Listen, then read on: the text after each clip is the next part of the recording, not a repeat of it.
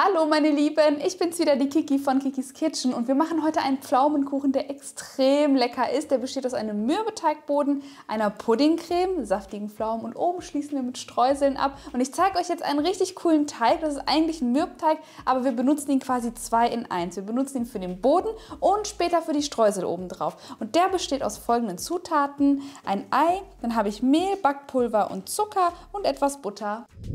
So, wir starten direkt. Für den Mürbeteig gebt ihr einfach alle Zutaten, die ich euch gerade aufgezählt habe, in eine große Schüssel. Und damit beginne ich jetzt. Ich gebe jetzt erstmal die trockenen Zutaten hinein, also Backpulver, Mehl und Zucker. Verrühre das ganz kurz miteinander, mit einem Schneebesen am besten. Und dann die Butter mit dazu, die darf auch ruhig zimmerwarm sein.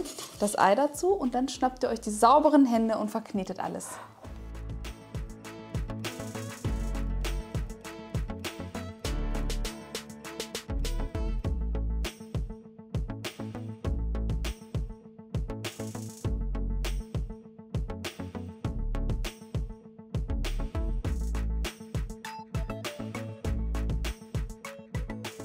So, ich gebe jetzt zwei Drittel des Teigs in meinen Backrahmen. Den habe ich auf 26 x 34 cm eingestellt und drücke den Teig mit meinen Händen flach. Ihr könnt das Ganze jetzt bis zur Weiterverarbeitung in den Kühlschrank geben und ein Drittel lasst ihr einfach stehen auf Zimmertemperatur. Das sind gleich unsere Streusel und ich zeige euch jetzt, wie die Füllung geht. Und zwar benötigen wir die folgenden fünf Zutaten: Milch, Speisestärke, Zucker, Vanilleextrakt oder Vanillezucker und Schmand. So ihr Lieben, am Herd geht es jetzt weiter und hier verrühren wir alle Zutaten bis auf den Schmand. Das heißt, einmal die Milch in den Kochtopf geben, da kommt Zucker dazu, Speisestärke und Vanille und dann den Herd noch nicht einschalten, erstmal umrühren, das Ganze klümpchenfrei miteinander verbinden und dann könnt ihr den Herd einschalten und das Ganze zu einem Pudding kochen.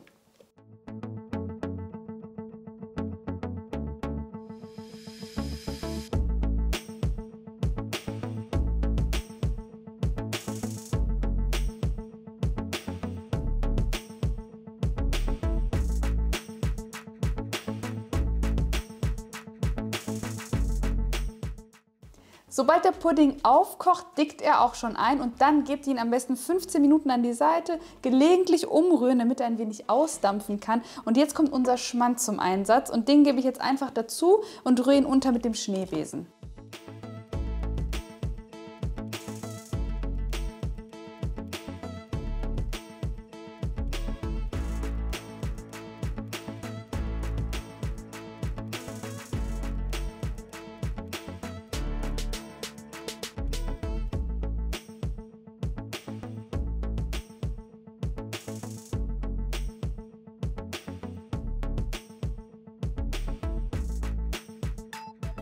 So, als nächstes die Creme einfach auf dem Boden verstreichen und dann kommen die Pflaumen zum Einsatz. Die gebt ihr einfach auf die Creme. Schön unregelmäßig verteilen, aber so, dass jedes Stück ordentlich Pflaumen abbekommt.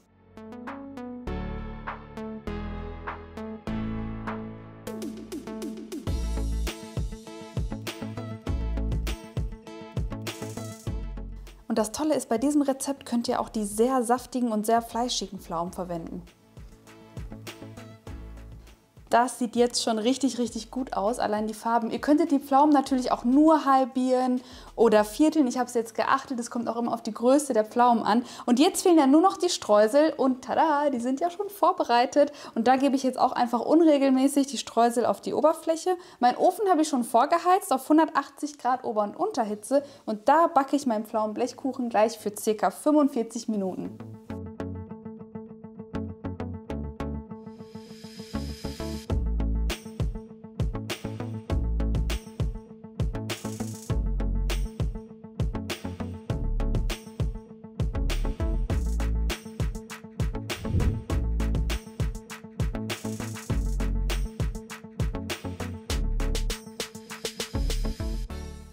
Und nach dem Backen dann einmal vollständig auskühlen lassen und den Backrahmen entfernen. Und tada, fertig ist der wohl leckerste Pflaumenkuchen ever, weil ich mag das eben, wenn er noch so eine Schicht ist mit Pudding, mit Creme, irgendwas, was noch so ein bisschen Cremigkeit verleiht. Und daher ist das mein absolutes Lieblingsrezept. Ihr könnt das Ganze natürlich jetzt nachmachen, indem ihr hier unten in der Videobeschreibung die ganz genauen Zutaten anschaut. Einfach bei Kaufland einkaufen gehen und das Ganze dann nachmachen. Und worüber ich mich natürlich sehr freue, freuen würde. Das sind eure Fotos. Wenn ihr die teilt mit dem Hashtag Kaufland oder dem Hashtag Kikis Kitchen, dann schaue ich mir eure Pflaumenexemplare auch gerne an. Und dann freue ich mich natürlich, wenn ihr bei meinem nächsten Rezept hier auf dem Kaufland-Kanal auch wieder dabei seid. Tschüss, eure Kiki.